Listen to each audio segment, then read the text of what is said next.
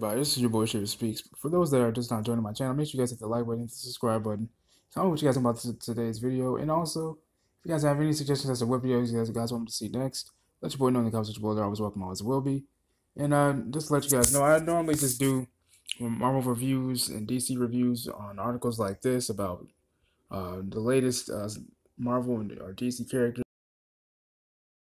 And so, guys, courtesy of People Magazine. At one point, Tom Holland thought he that he actually wasn't going to be our beloved neighborhood friendly Spider-Man at one point. Sorry if I butchered that. Now he recently chatted with uh, Daniel Kaluuya for Variety's annual Actors on Actors series, where he recalled his deep paranoia after filming as Peter Parker slash Spider-Man for the first time, which was in 2016's Captain America: Civil War. I remember watching it in theaters. I'll never forget it. He goes, "I shot Civil War, which was a week's work from, and from the moment of shooting Civil War to Spider-Man: Homecoming, I was convinced they were going to fire me."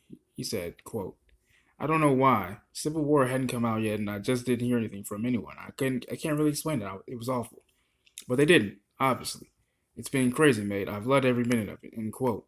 Uh, now Holland's only about like a year younger than I am, and he just recalled, you know, the bizarre way he found out he landed the role of Spider-Man through an article online.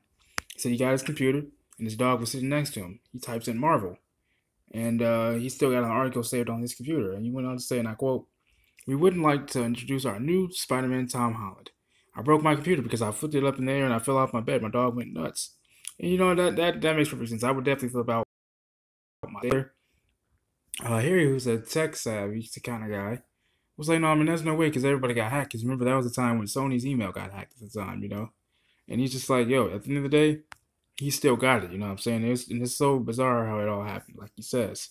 And I still think it's really bizarre. And, it's crazy how life actually happens like that. That's how bizarre life can be. But uh, that's what I got for you guys today. Make sure you guys hit the like button, subscribe button, comment what you guys think about this video. Sorry if I'm talking like really fast. I'm rushing to do something. I love you guys. Peace and love.